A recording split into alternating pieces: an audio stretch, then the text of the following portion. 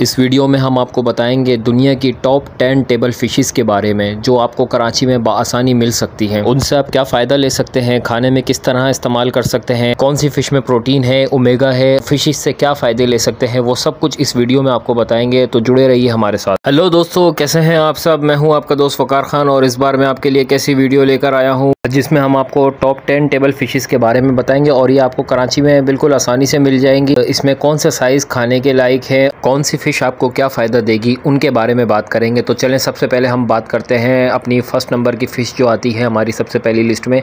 वो आती है वाइट पम्फर्ट, यानी कि सफ़ेद पापलेट। एलिट क्लास या सी फ़ूड लवर की बात करें तो उनके सबसे पहले ऑप्शन में जो फ़िश आती है, वो वाइट पापलेट आती है।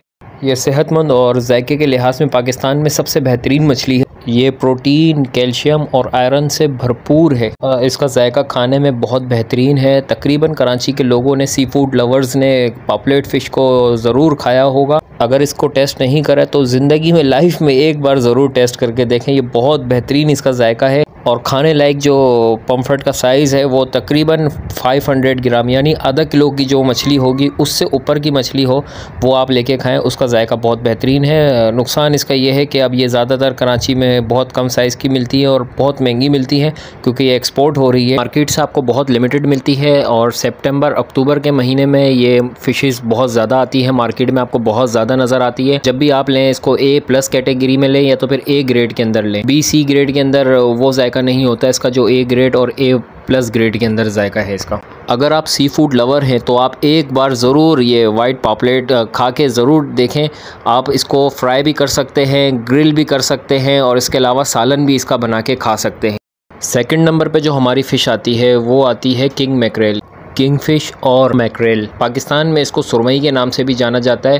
इसमें प्रोटीन वाइटामिन और मिनरल्स बहुत ज़्यादा पाए जाते हैं और सबसे अच्छी बात इसमें ओमेगा थ्री सबसे ज़्यादा पाया जाता है। ये फ़िश वेट लॉस करने के लिए और हार्ट अटैक के जो पेशेंट होते हैं, उनके लिए तो बहुत ज़्यादा बेहतरीन फ़िश है ये। हफ़्ते में दो मरतबा डॉक्टर की तरफ़ से रिकमेंड की जाती है। अगर अवेलेबल है तो चाहे सर्दी हो या गर्मी हो, क्योंकि सेहत के लिए बहुत बेहतरीन फ़िश है। इसको आप ग्रिल करके भी खा सकते हैं फ्राई करके भी खा सकते हैं, सालन भी बना सकते हैं। लेकिन मैं पर्सनली बताऊँ तो इसको फ्राई करके खाने का जो ज़्यादा मज़ा है, सालन की नस्बत। एक्सपोर्ट होने की वजह से इसकी भी प्राइस बहुत ज़्यादा है। पाकिस्तान के अंदर, कराची के अंदर ये मिल जाती है आसानी से, लेकिन ए ग्रेड की प्राइस बहुत ज़्यादा हाई होते हैं। इसका मीट बिल्कुल वाइट कलर का होता है, जायका बहुत ज़बरदस्त होता है खाने में इसका। देखने में बहुत खूबसूरत है, इसके ऊपर छिलका नहीं होता। सिर्फ़ इसकी स्किन होती है। बेहतरीन जायका रखने वाली मछली तकरीबन डेढ़ किलो से ऊपर हो और चार किलो से नीचे हो। थर्ड नंबर पे हमारी फ़िश आती है रेड स्नैपर, जिसे हम लोकली ज़बान में हीरा मछली कहते हैं। इसका वाइट कलर का गोश होता है और टेस्ट में बहुत ही ज़बरदस्त किस्म की मछली है ये। टॉप टेन टेबल फिशेस में आती है। ये पाकिस्तान में बहुत ही पॉपुलर फ़िश है। एडवांटेज की बात इसमें यह है, लो कैलोरीज है, प्रोटीन है, इसमें रिच इन सेलेनियम है वाइटामिन ए इसके अंदर भरपूर है। इसे आप बारबेक्यू फ्राई ग्रिल कुछ भी करके खा सकते हैं। सालन में भी बना सकते हैं। बहुत बेहतरीन टेस्ट बनता है, लेकिन सबसे ज़बरदस्त जो बनती है, ये बारबेक्यू के अंदर बनती है। खाने वाला साइज़ तकरीबन 750 ग्राम, कम से कम। और ज़्यादा थ्री एंड हाफ़ के जी तक का आप इसका पीस ले सकते हैं। ये लुक लाइक हल्की सी रेड कलर की होती है। डिसएडवांटेज बताऊँ तो ये भी एक्सपोर्ट हो जाती है। ए क्वालिटी और बी क्वालिटी तो आपको मिल जाएगी मार्केट में, लेकिन ए ग्रेड क्वालिटी एक्सपोर्ट हो जाती है। बाकी इसकी बहुत सारी नसल्स आपको जो है मार्केट में मिल जाएँगी। फिंगर मार्क रेड स्नैपर होती है गोल्डन स्नैपर है, ये सारी दूसरी इससे मिलती जुलती होती हैं, वो सब आपको मार्केट से मिल सकती है। फोर्थ नंबर फ़िश की अगर बात करें तो ये है ग्रोपर इसे घिस्सर भी कहा जाता है।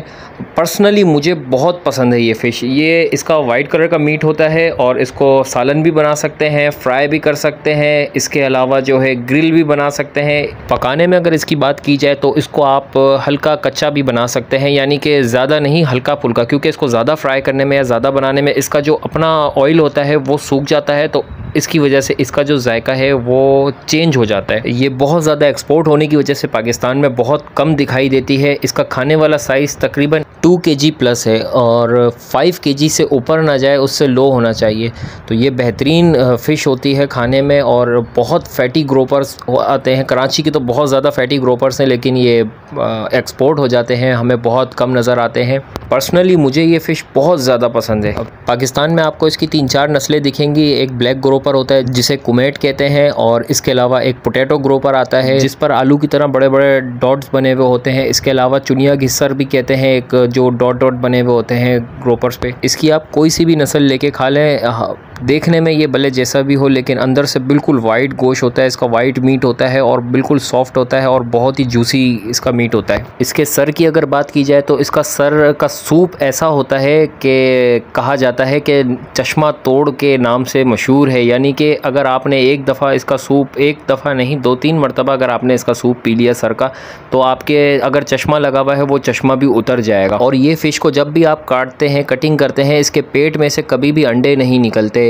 एक ये फ़िश हो गई, इसके अलावा रेड स्नैपर हो गई, हीरा मछली, इनके ये फ़िशेस होती हैं, तीन चार फ़िशेस हैं ऐसी, जिनके पेट में अंडे नहीं निकलते। इसकी पूरी डिटेल में एक दूसरी वीडियो में बताऊँगा। पाँचवें नंबर पर आता है हमारा काला पापलेट। ये देखने में काला है, लेकिन इसका मीट इसका गोश्त अंदर से वाइट होता है, बिल्कुल। इंग्लिश में इसे ब्लैक पम्फर्ट कहते हैं। इस फ़िश में प्रोटीन ओमेगा सिक्स और ओमेगा डबल ए भरपूर मकदार में पाया जाता है। ये देखने में लुक लाइक बिल्कुल वाइट पापलेट की तरह होता है और इसका बेस्ट साइज़ खाने का तकरीबन वन के का। इस मछली को आप बारबेक्यू में भी इस्तेमाल कर सकते हैं, सालन में भी इस्तेमाल कर सकते हैं और फ्राई में भी ये बहुत लाजवाब। सिक्स नंबर पर हमारी आती है इंडियन सेलमन इसको हम उर्दू ज़बान में रामस या रावस, ये दोनों नाम से पुकारते हैं। ये आपको मार्केट में इजीली मिल जाती है। ये फ़िश बॉडी टिश्यूज़ के लिए बहुत बेहतरीन है। लाइक कोई भी अगर पेशेंट है, वो इस फ़िश को इस्तेमाल करे, बहुत बेहतरीन फ़ायदा देगी उसको। वेट लॉस के लिए भी बहुत बेहतरीन फ़िश मानी जाती है। इसका वाइट मीट होता है और ये आपको बिल्कुल ईजीली मार्केट से मिल जाती है। दिखने में भी बहुत अच्छी है। मीट भी इसका वाइट कलर का होता है और खाने में भी बहुत बेहतरीन जायका है। इसका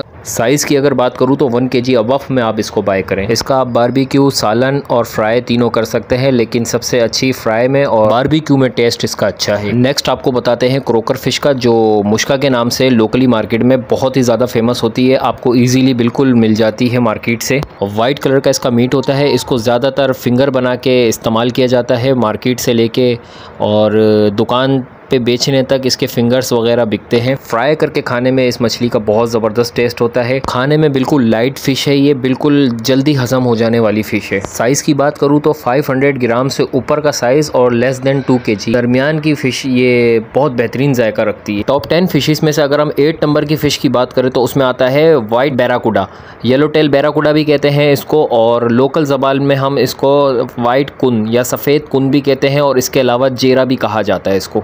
वाइट कलर का इसका गोश्त होता है और फ्राई करके खाने में इसके गोश्त का बहुत ही ज़बरदस्त जायका होता है, बहुत लजीज जायका है इसका फ्राई करके खाने में। बाकी इसका सालन भी बना सकते हैं, बारबेक्यू भी इसको कर सकते हैं। इसके बेनिफिट्स की अगर मैं बात करूँ तो ये वेट बढ़ाने के लिए मसल्स बढ़ाने के लिए बहुत बेहतरीन फ़िश है। बॉडी बिल्डर्स जो हैं वो इसको ज़्यादा इस्तेमाल करें, ये फ़िश का। उनके लिए वेट गेन करने के लिए और मसल्स बढ़ाने के लिए बहुत बेहतरीन फ़िश है। मार्केट में बिल्कुल ईजीली मिल जाती है और इतनी ज़्यादा महँगी भी नहीं है, बिल्कुल नॉर्मली रेट में मिल जाती है। डायबिटीज़ के लिए भी बहुत बेहतरीन फ़िश मानी जाती है। इसके अलावा आपने कोई किसी ज़ख्म को कवर करना है अपने हार्ट पेशेंट के लिए भी बहुत बेहतरीन फ़िश है टू के जी का साइज़ बहुत बेहतरीन है इसका खाने के लिए। नाइन्थ नंबर पर जो हमारी फ़िश आती है वो आती है ब्लैक बैराकोडा। लोकल ज़बान में हम उसको कालाकुन भी कहते हैं। और ये वाइट कुन के मुकाबले में 19-20 ही रखता है, ज़्यादा कोई फ़र्क नहीं रखता, बस वाइट कुन जो है, उसका गोश्त थोड़ा सा सख्त होता है और जायके अच्छा होता है उसका ब्लैक के मुकाबले में और ब्लैक भी तकरीबन उससे 19-20 ही है, इससे ज़्यादा कोई फ़र्क नहीं होता इन दोनों में।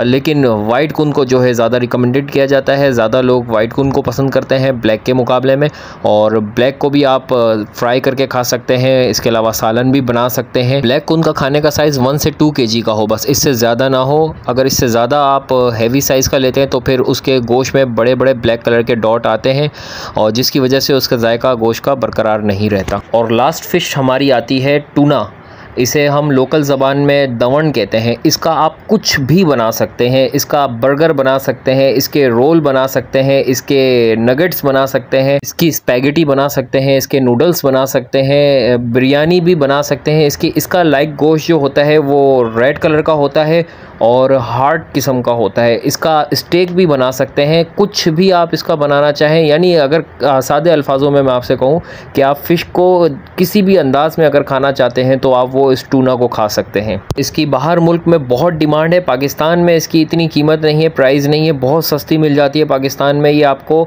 लेकिन सबसे ज़्यादा महँगी जो दुनिया में ख़रीदी जाती है या बेची जाती है, वो जापान के अंदर बेची जाती है। टूना फ़िश में रिच प्रोटीन होता है, यानी जो लोग भरपूर प्रोटीन लेना चाहते हैं, वो ये फ़िश खा सकते हैं। बॉडी बिल्डर अपना मसल्स गेन करने के लिए इस फ़िश को लाजमी अपने फ़ूड में यूज़ करें। इसमें selenium thiamine vitamin B six omega three और फैटी एसिड्स बहुत ज़्यादा मकदार में पाया जाता है। रेड कलर का इसका मीट होता है, ये मार्केट में आपको बिल्कुल ईजीली मिल जाती है। दवण के नाम से मिलती है मार्केट में लोकल ज़बान में इसको दवण कहा जाता है। जैसे एडवांटेज इसका कुछ भी नहीं है, सिर्फ़ ये है कि पाकिस्तान में इसको लोग पसंद नहीं करते। इसके गोश्त की वजह से, जबकि ये बहुत बेहतरीन और बहुत जैके वाली फ़िश है।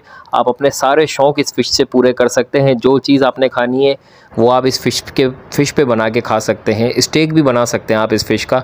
और मैंने आपको बहुत सारी चीज़ें बताई हैं कि आप इसका क्या क्या बना सकते हैं। कुछ फ़िश की रेसिपीज़ भी मैं आपको बताऊँगा अपने नेक्स्ट वीडियोज़ के अंदर तो इन वेट कीजिएगा। अगर चैनल को सब्सक्राइब नहीं करा तो चैनल को सब्सक्राइब कर दीजिए शेयर कर दीजिए लाइक कर दीजिए। बाकी मिलेंगे नेक्स्ट वीडियो में। ठीक है, अल्लाह हाफ़ अपना ख्याल रखिएगा।